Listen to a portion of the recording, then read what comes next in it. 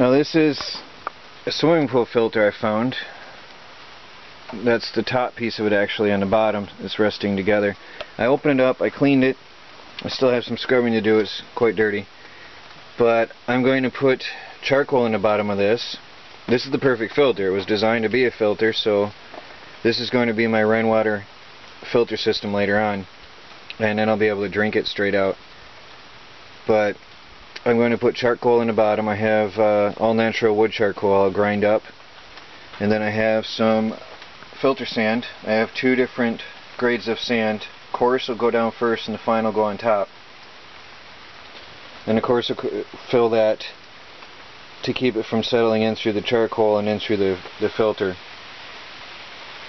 Eventually that, that swimming pool filter will be stuck here in the middle between my water collector on the roof and the water tank down here. So I will have the swimming pool filter somewhere right about here in the middle and that'll filter through and drain into the tank and then I'll have pure drinking water from there. Now when the when the trailer's tanks are empty I have the normal water filler spout. I just open this in, up, I put a garden hose through here. The spout from this tank goes through into the garden hose and I fill it up.